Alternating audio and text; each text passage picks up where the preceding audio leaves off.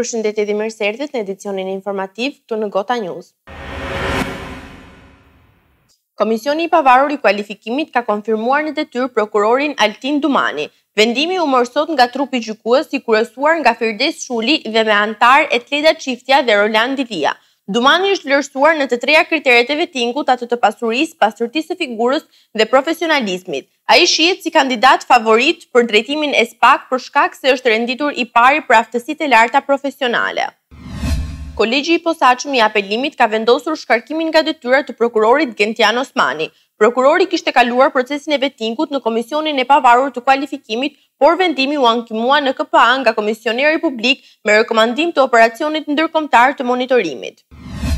Ambasadori i BE-së, Luigi Soreka, në një takim me studentët shqiptarë që janë pjesë e programit Erasmus Plus, një nga projektet e financuara nga BE-ja, dha për ta mesazhe të qarta. Sipas tij, edukimi i të rinjve do të thotë më shumë se çdo gjë tjetër progres për një vend. Ambasadori nënvizoi se këta të rinj meritojnë të gëzojnë të drejta të njëjta si miqtë e tyre në BE. Mëngjesin e sotëm Drejtori i Përgjithshëm i Policisë së Shtetit, Ardi Veliu ka inspektuar portin e Durrësit. Veliu vijon inspektimin e masave në pikat e kalimit kufitar me qëllim përballimin e fluksit, parandalimin e azilkërkimit si dhe rritjen e forcës goditëse ndaj paligjshmërisë që mund të zhvillohet nëpërmjet këtyre pikave.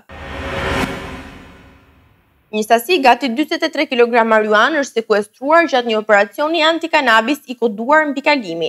Në pranga u vu një njëzet e pesë vjeçar i identifikuar me inicialet KÇ banues në fshatin Toç, Tepelenë. Nga kontrolli i dokumentacionit rezultoi se ky shtetas nuk dispononte as leje drejtimi.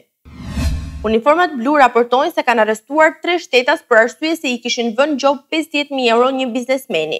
Të arrestuarit janë Lulzim Zalla me rrezikshmëri të lartë në fushën e krimeve dhe Igi Shullazi të cilëve policia i ka sekuestruar edhe shumën prej pesëdhjetë mijë euro që i kishin vënë si këst të radhës për t'u paguar nga biznesmeni me inicialet NL dhe bashkëpunëtori i tyre shtetasi Klodiani Strefi.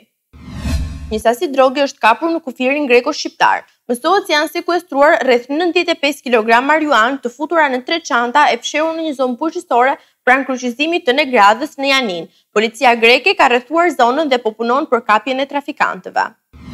Dy shtëpi janë përfshirë nga flakët këtë mëngjes në Korçë në lagjen dymbëdhjetë. Fatmirësisht nuk u shënuan viktime, por njëra prej shtëpive, ku dyshohet se ishte edhe vatra e zjarrit, është djegur, ndërsa shtëpia e ngjitur ka pësuar dëme materiale. Dyshohet se shkak për zjarrin është bërë pastrimi i oxhakut me flakë. Një njëzet e dy vjeçar është arrestuar nga policia e Beratit pasi akuzohet për shpërndarje të lëndëve narkotike të llojit heroinë. I riu me inicialet EM nuk iu bind patrullës së policisë në momentin e ndalimit dhe nga kontrolli i dokumentacionit rezultoi se nuk ishte i pajisur as me leje drejtimi. Presidenti i vendit, Ilir Meta e ka nisur ditën sot me një apel të fortë për klasën politike në vend, duke theksuar se Shqipëria ka nevojë për zgjidhje tani, pasi në shtator do jetë shumë vonë.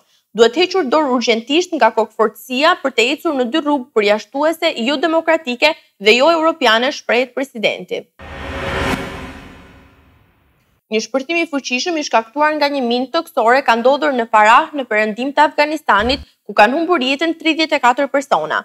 Zëdhënësi i policisë në rajonin Farah tha se një autobus me udhëtarë që vinte nga provinca fqinje shkeli në një minë të improvizuar rrugore rreth orës tetë të mëngjesit sipas asaj lokale duke shkaktuar vdekjen e tridhjetë e katër udhëtarëve dhe plagosjen e shtatëmbëdhjetë të tjerëve.